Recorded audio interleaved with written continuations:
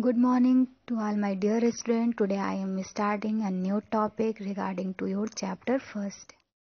And the topic is reproduction by roots. अब roots के through plant में कैसे reproduction होता है वो देखते हैं Radish, turnip, carrot and sweet potato have roots that store food in them.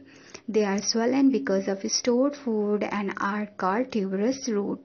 The roots contain a small buds which gives rise to a new plant under a favorable conditions.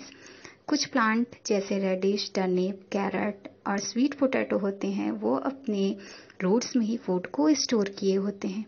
और इनकी जो roots होती हैं, उनमें एक small buds होता है, जो एक फेवरेबल कंडीशन मिलते ही एक न्यू प्लांट्स को डेवलप करते हैं।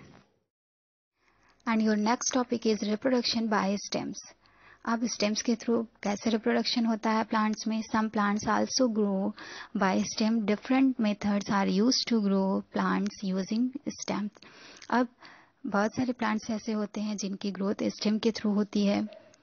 आगे देखते हैं। First example is from underground stems किस तरह अंडरग्राउंड स्टेम्स में से न्यू प्लांट्स का फॉर्मेशन होता है। These are the stem which grow under the ground for example onion potato and ginger these stem have small buds called eyes a piece of stem with an eye can grow into a new plant कुछ plants हो गए जैसे onion potato and gingers इनके जो stem होते हैं वो underground होते हैं मीन्स ग्राउंड के अंदर होते हैं।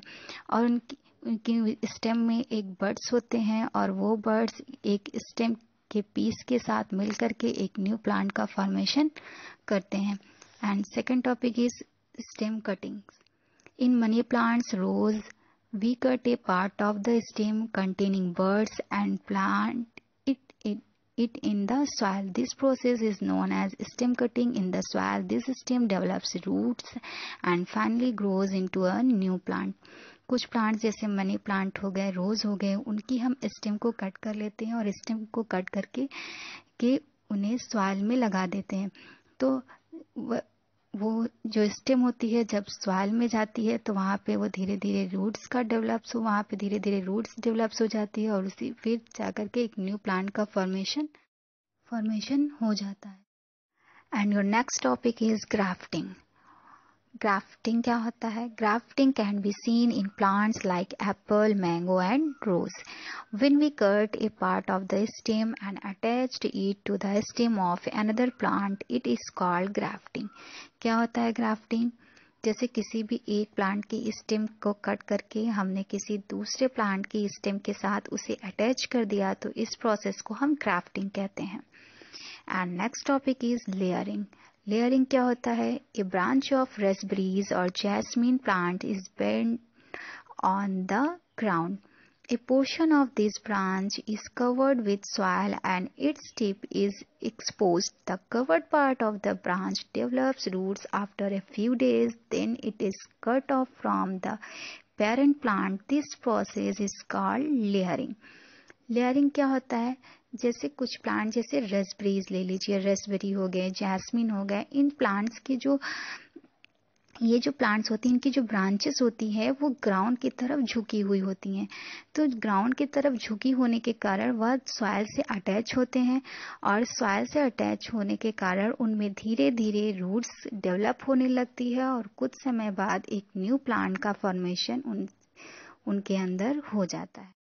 And your next topic is crop production अब क्रॉप प्रोडक्शन में हम सबसे पहले एग्रीकल्चर देखते हैं। What is the agriculture a crop is a cultivated plants that is grown on a large scale for example cereal pulses and vegetables. This large scale production of crops for food is called agriculture. And your next topic is cultivation. What is the cultivation? The growing of crops in the fields by farmers is known as cultivation. And your next topic is kharif crops. What are the kharif crops? Such crops are grown from June to October. They are known as kharif crops. For example, rice, maize, sugarcane, etc. And your next and last topic is Rabi crops. What are the Rabi crops?